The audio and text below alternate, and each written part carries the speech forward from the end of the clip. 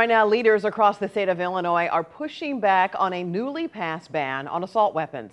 That includes many sheriff's departments and state's attorney in the Metro East. Five on your sides, Travis Cummings is live in East St. Louis with the latest on this, Travis. Yeah, Kelly, some agencies like the St. Clair County Sheriff's Department have only expressed disappointment in this new law, while others say that they will not be on the streets checking for these newly banned assault weapons. Here's what this law consists of.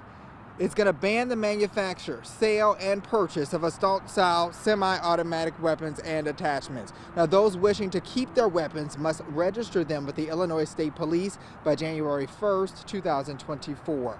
Leaders from St. Clair, Greene, Macoupin, and Madison counties, just to name a few, have released similar statements opposing the law, saying it infringes on their duties as well as the people they serve. Sheriff Neal Rohlfing in Monroe County says he won't be enforcing the law for a couple of reasons.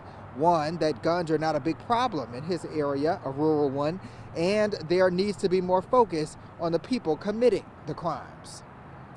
I'm not going to sit here and tell people to uh, violate the law. I mean, if you feel like you should register your firearms, register your firearms. If you if you want to abide by the law and and uh, register them, by all means register them. But uh, that's not something we're going to proactively go out and look for and enforce at this time until it's litigated in court.